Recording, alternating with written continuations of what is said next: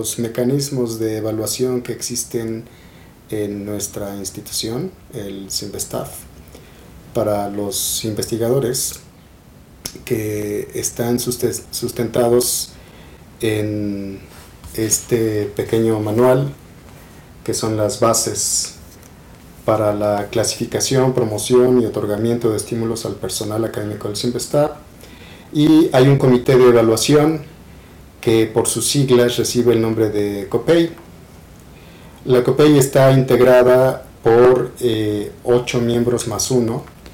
Son dos representantes de las cuatro grandes áreas que puede uno identificar con mucha facilidad en el centro, que son ciencias exactas, eh, el área biológica, el área de sociales y el área de ingenierías.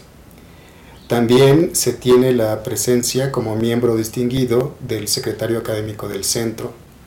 Él es el noveno miembro de la comisión.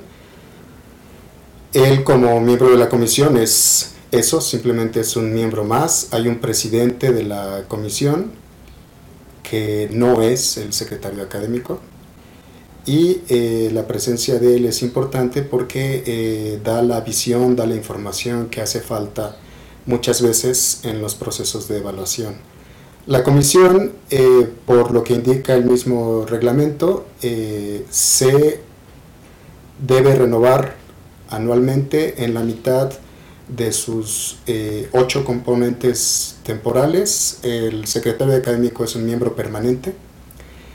Los otros miembros pueden permanecer hasta un máximo de dos años continuos y se hace la renovación de la mitad de los miembros, un representante de cada área, con la idea de renovar, de refrescar ideas y opiniones, y también para que la mitad de los miembros que permanecen tengan la experiencia acumulada del año anterior y no haya necesidad de estar perdiendo el tiempo para eh, investigar cómo deben hacerse las evaluaciones. El reglamento de la COPEI en general es eh, un reglamento de avanzada, es el reglamento más claro y preciso que se tiene en la comunidad eh, académica y de investigación en nuestro país. El mismo Sistema Nacional de Investigadores eh, ha ido corrigiendo y perfeccionando su reglamento, inspirándose en el de nuestra institución Entiendo también que lo mismo ha ocurrido con instituciones eh, eh, amigas y, colegas como la UNAM, como la Universidad Metropolitana y eh, otras más.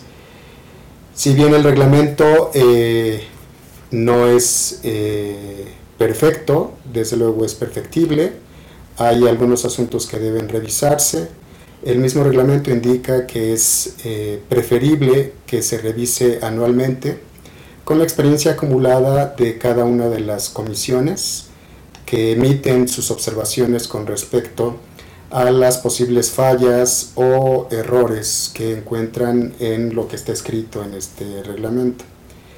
La participación de los miembros de nuestra comunidad académica en esta comisión es no solamente importante, todos ellos se lo toman muy en serio, es una actividad muy profesional y hay una conciencia clara en los miembros de la COPEI de que este reglamento debe revisarse.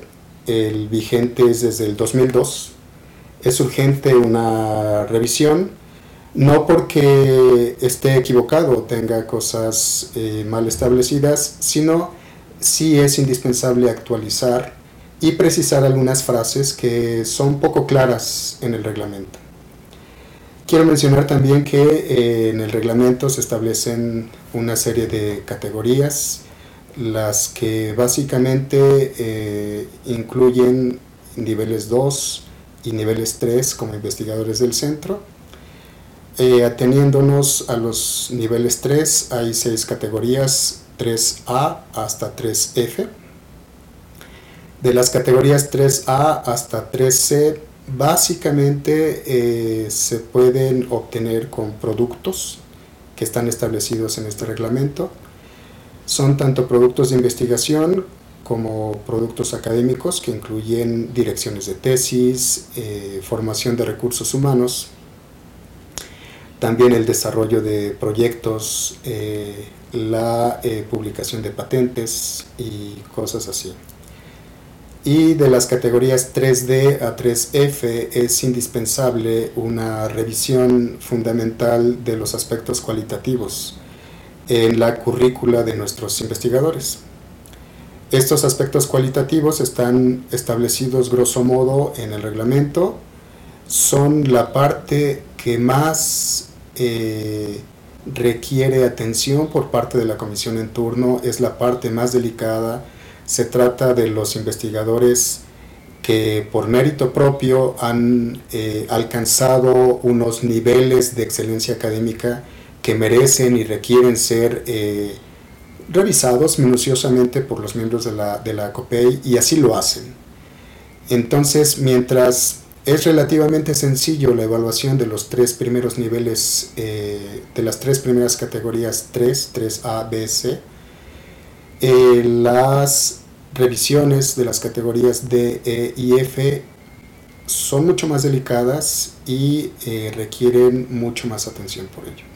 En este sentido también es indispensable recordar que necesitamos una revisión del reglamento para afinar en lo posible estos criterios de transición para buscar un mecanismo que eh, facilite la evaluación de los criterios mínimos indispensables para hacer este tránsito de nivel 3C a nivel 3D y de esta forma no solamente eh, fortalecer las características de los currículums de investigación que espera nuestra institución tengan sus investigadores, sino fomentar y estimular la participación de los investigadores en estas actividades indicadas y consideradas por el reglamento de la COPEI. Debo mencionar que a mí me consta que la recepción de felicitaciones de nuestra comunidad hacia la actividad de la COPEI es mayor que la recepción de posibles quejas o observaciones, solamente que las quejas suelen hacer más ruido que las felicitaciones y en ese sentido también es desafortunado.